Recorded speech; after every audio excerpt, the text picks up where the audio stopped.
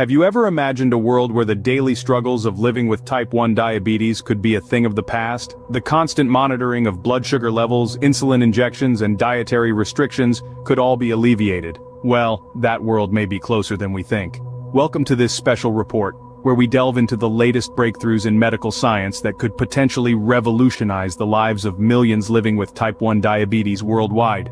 Today, we focus on a promising development in the field of stem cell research, where scientists are making strides in creating new insulin-producing cells. Biotech company, Vertex. Pharmaceuticals has been at the forefront of this groundbreaking research. They are currently conducting a clinical trial using stem cells to create new insulin-making cells for the treatment of type 1 diabetes. The results have been encouraging, with one participant able to reduce their insulin injections by a staggering 92% after 150 days. But Vertex Pharmaceuticals isn't alone in this pursuit.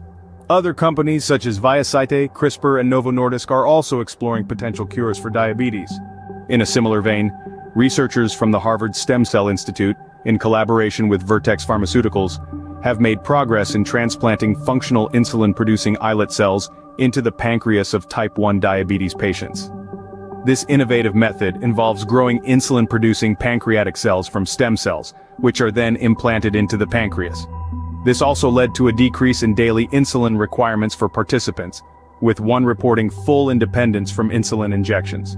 However, it's important to note that this method does require the use of immunosuppression medication to prevent the immune system from attacking the transplanted cells, and this can have significant side effects. In a more personal perspective, the documentary film, The Human Trial, follows the journey of filmmakers Lisa Hepner and Guy Mossman as they document a groundbreaking clinical trial aimed at curing type 1 diabetes. This film captures the emotional roller coaster patients go through and the hope that these potential cures bring. In conclusion, the research being conducted in the field of stem cells and diabetes has the potential to bring monumental change to the lives of those living with type 1 diabetes.